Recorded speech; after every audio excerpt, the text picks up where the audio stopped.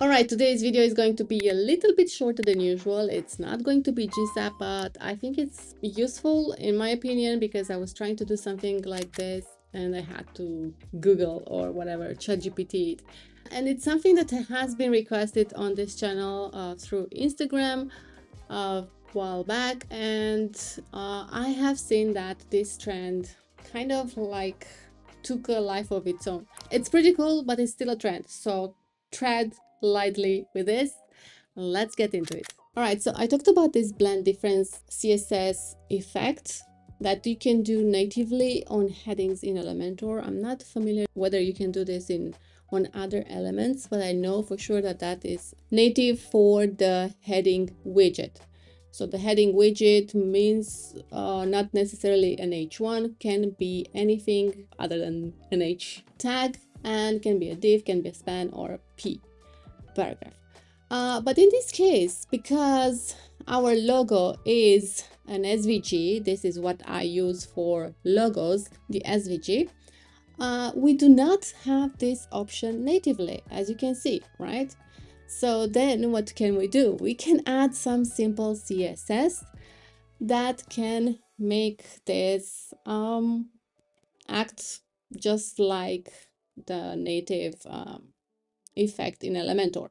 So let's go to uh, the site logo. So this is my site logo, yeah. And go to advanced and forget about how I style it or I set my uh, elements to be, my element to be, but simply add a logo class or whatever class you want. Remember that class will have to be added in the CSS code. So then go to custom CSS. And as I said, set the class of logo or whatever class you have set on and then drop in this code. And this code will basically do exactly that.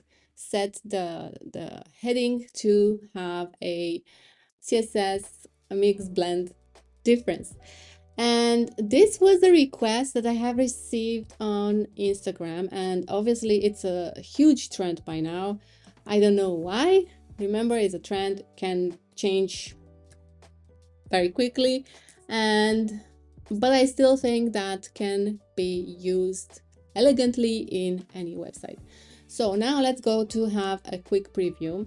All right so this is um, my logo. I set it on a black background with a white um, fill yeah? So you see it better but look at this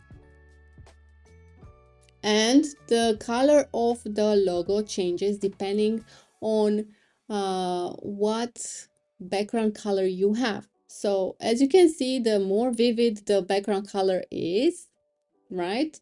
The background color of the element that our text uh, scrolls over, uh, the more vivid the color is.